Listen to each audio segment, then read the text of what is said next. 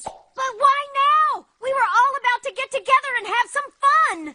There are plenty of reasons. We've overstayed our welcome, for one.